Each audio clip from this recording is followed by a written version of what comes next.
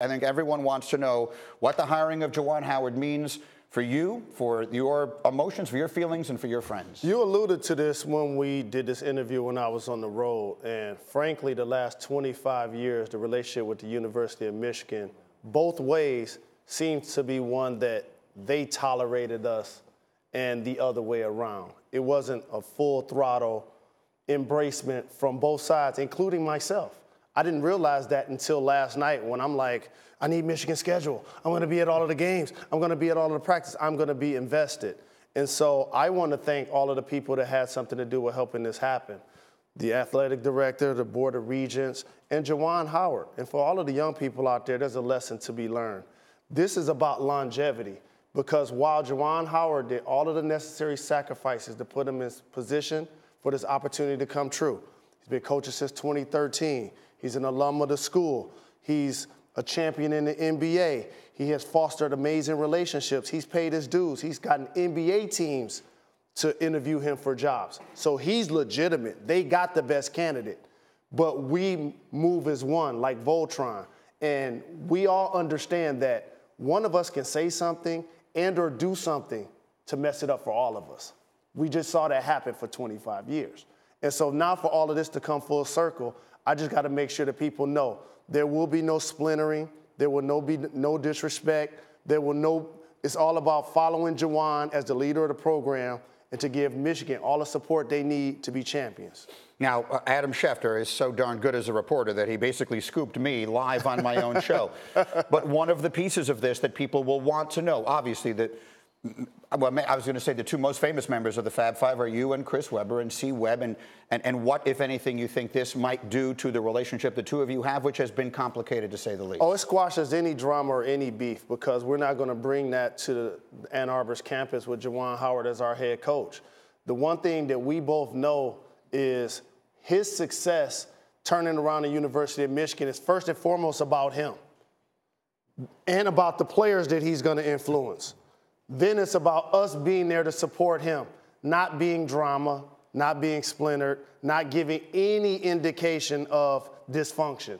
We're going to move as a family, and we're going to do what we can to build on what John Beilein has helped establish at Ann Arbor. Now, here's what I really want to ask you. I've, I've known you for 15 years. I remember having lengthy conversations on my old show on Mike and Mike mm-hmm. about the earlier part of your life. And you grew up with a lot of anger in your life and you overcame that. And you are now, for anyone who knows Jalen, I always joke around, you're the mayor of planet Earth. You're one of the happiest people I know.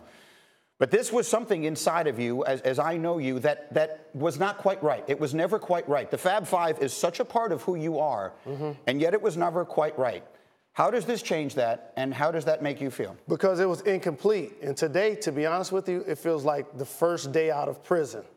It really does, because you didn't realize the weight and the shackles of the negative connotations of what people took from what we brought to the table at the University of Michigan, how heavily that weighed on all of us until it actually gets lifted.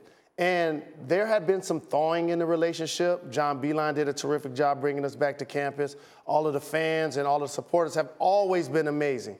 But when you go to Ann Arbor and you look up and so much blood, sweat, and tears that you put up, like the banners aren't up. I was a pretty good player. I was an All American. It's like my number wasn't retired. You know, I'm not in the College Hall of Fame. And then those are the selfish parts of it. Then I'm like, wait a minute. Ray Jackson and Jimmy King, they deserve this more than anybody. See, Chris Webber and me, we get a chance to talk about sports on television. Juwan as well, making big time money in the NBA. Those guys didn't have that opportunity.